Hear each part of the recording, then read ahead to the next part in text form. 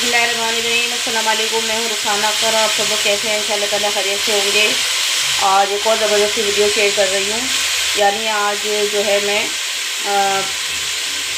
Mutton का भुना गोश्त बना रही हूँ। तो मेरे बहुत से चाहने वालों ने जो मेरी वीडियो बहुत ज़्यादा लाइक करते हैं तो उन लोगों ने बहुत ज़्यादा कमेंट करके कहा था कि मटन भुना गोश्त, हालाँकि मैंने पहले भी अपलोड किया हुआ है तो वो बना कर दिखाइए। तो मैंने कहा चले मैं वो आप लोगों से शेयर करती हूँ। तो मैंने जो है हाँ क्वार्टर कप जो है ऑयल डाला। उसमें खड़ा गरम मसाला डाल दिया, तेज़पात डाल दिया छोटी बड़ी इलायची डाल दें, ज़ीरा डाल दें और थो दो तीन लौंगे डाल दें और आधा किलो के करीब मैंने मटन डाला इसके अंदर। तो मैं इसको तेल में अच्छी तरह से भून लेती हूँ थोड़ा उसको, मटन को। फिर आपको दिखाती हूँ। बहुत ही मज़े का हमारा ये मटन बिना गोश्त तैयार होगा। और आपको पता है कि बकरीद की वजह से सबके घरों में गोश्त है, माशाल्लाह से। तो नई नई डिशेज बनाइए और मज़े मज़े के खाने अपने घर वालों को खिलाइए। इसमें अस्सलाम वालेकुम मैं हूँ रुखसाना अख्तर और आप सब लोग कैसे हैं? इंशाल्लाह ताला खैरियत से होंगे। आज एक बहुत ही ज़बरदस्ती रेसिपी शेयर कर रही हूँ, यानी कि मैं मटन भुना गोश्त बना रही हूँ। तो उसके लिए मैंने जो है क्वार्टर कप जो है सरसों का तेल लिया।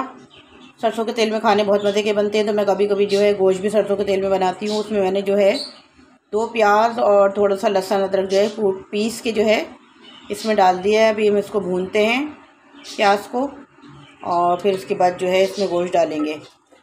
आधा किलो से थोड़ा सा ज़्यादा जो है मेरा मटन है, मैं उसको भी थोड़ा सा फ्राई करके फिर इसमें डालूँगी। ज़बरदस्त सा हमारा भुना गोश्त जो है ये तैयार हो रहा है। बकरीद है माशाल्लाह, सबके घरों में गोश्त है तो आप जो है इस तरह के भुने भुने खाने पकाएँ। बच्चे भी बहुत शौक से खाते हैं, कबाब बनाएँ, या इस तरह के जो है भुने, भुना गोश्त वगैरह बनाइए, बहुत मज़े के लगेंगे। और बच्चे और बड़े सब शौक से खाएँगे। प्याज जब अच्छी तरह हमारी भुन गई तो मैंने जो है मटन को थोड़ा सा फ्राई कर लिया, आधा किलो मट, आधा किलो से थोड़ा सा ज़्यादा मटन है, उसको फ्राई करके मैंने प्याज के अंदर डाल दिया।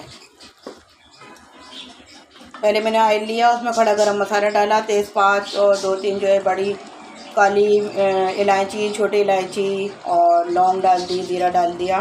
फिर मैंने जो है दो तीन प्याज लेके और लहसुन अदरक मिला के इसको ग्राइंड करके डाल दिया, जब वो खूब अच्छी तरह भुन गया तो मैंने जो है थोड़ा सा आधा किलो से थोड़ा सा ज़्यादा जो है मटन लेके उसको थोड़े से ऑयल में मैंने फ्राई कर लिया, उससे और मज़े का बनता है ये।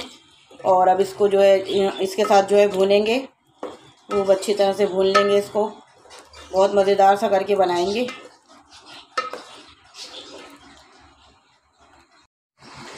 प्याज हमारी अच्छी तरह भुन गई है तो अब हम वन टेबल स्पून रेड पिसी मिर्चें हैं, हाफ़ टेबल स्पून हल्दी है, वन टेबल स्पून जो है इसमें पिसा धनिया है और हाफ़ टेबल स्पून कुटा ज़ीरा है थोड़ा सा कुटा हुआ जो है धनिया है, साबित धनिया क्वार्टर जो है काली मिर्च और वन टेबल स्पून नमक, ये इसके अंदर मिक्स कर देंगे बिस्मिल्लाह की बरकत से। और इसको भी खूब अच्छी तरह मिक्स करेंगे, भूनेंगे इसको खूब।